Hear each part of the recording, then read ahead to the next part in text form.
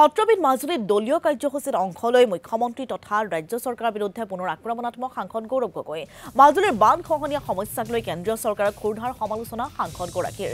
বান খহনীয়া ৰোধৰ গৱেষণাৰ বাবে নিৰ্ধাৰণ কৰা স্থানত বিজেপিয়ে কাৰ্যালয় নিৰ্মাণ কৰাৰ অভিযোগ গৌৰৱ গগৈৰ।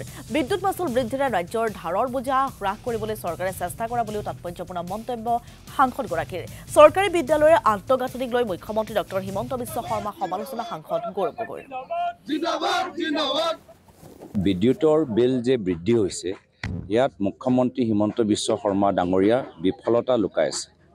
তেওঁ অসম চৰকাৰৰ বিত্তীয় মন্ত্ৰী হিচাপে অসমখন ইমান ধাৰুৱা কৰি গ'ল যে এতিয়া ধাৰ মাৰিবলৈ এতিয়া মান সাধাৰণ শ্ৰেণীৰ মানুহৰ পৰা টকা লৈছে ফাইনৰ যোগেদি লৈছে এই স্মাৰ্ট মিটাৰ যোগেদি ইলেক্ট্ৰিচিটি বিল বঢ়াই তেনেধৰণৰ টকা লৈছে। কিন্তু আমি দেখা পাইছোঁ জি এছ টি বৃদ্ধি পাইছে।